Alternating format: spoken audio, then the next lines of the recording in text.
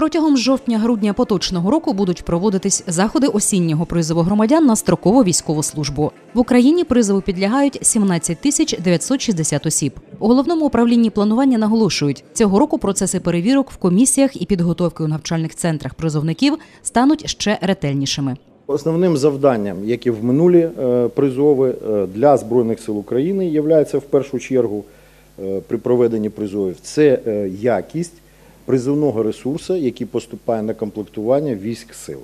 Тут йдеться насамперед про підготовку військово-навченого ресурсу спеціалістів, які після завершення терміну строкової служби у війську будуть зараховані до оперативного резерву і перебуватимуть на обліку військовозобов'язаних. Як показує щорічна практика, досить велика кількість громадян виявляє бажання продовжити службу в армії за контрактом.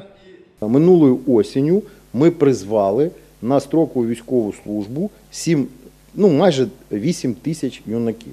І вже понад 2600 ми прийняли з цієї категорії на військову службу за контрактом. Тобто цей показник складає, якщо взяти в абсолютних цифрах, близько 40%.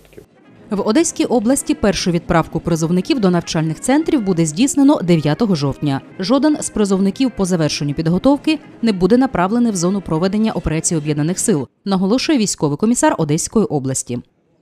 Немає ні одного такого прикладу, щоб призовник попав в зону виконання завдань.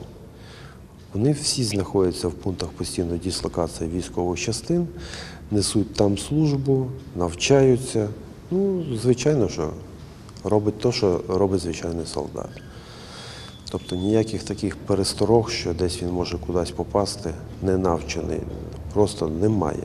Вся молодь іде е, в навчальні центри. А от вже з навчальних центрів військові частини забирають по своїм замовленням, кого в них не вистачає. Це можуть бути механіки водії, це можуть бути стрілки, це можуть бути навідники, це можуть бути артилеристи. У попередні роки Одещина скеровувала до лав збройних сил та інших військових формувань на проходження строкової служби до 800 громадян. Цьогоріч, у зв'язку з нововведеннями, кількість призовників збільшилась. Область готує до відправки майже тисячу осіб. Це відповідно в рази збільшило навантаження і на медичні комісії, і на військомати. Втім, робота проходить планово. Більша частина призовників вже пройшла медкомісії і отримала приписи щодо своєї явки на збірні пункти. Із проблем називають боротьбу з ухилянтами від строкової служби і незадовільну роботу органів місцевого самоврядування. У нас зараз е, взагалі на обліку стоїть 67 тисяч призовників.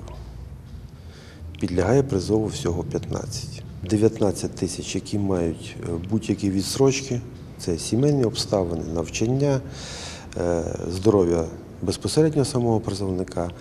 І десь трохи більше 33 тисяч людей, які ухиляються від призову. Тобто вони отримують повістки, не приходять за повістками. Призиваємо ми зараз згідно указу президента не з 18 років, а з 20. Тобто, от якраз за цей проміжок часу від 18 до 20 років е, діти вже знаходять собі заняття, заходять роботу або там женяться.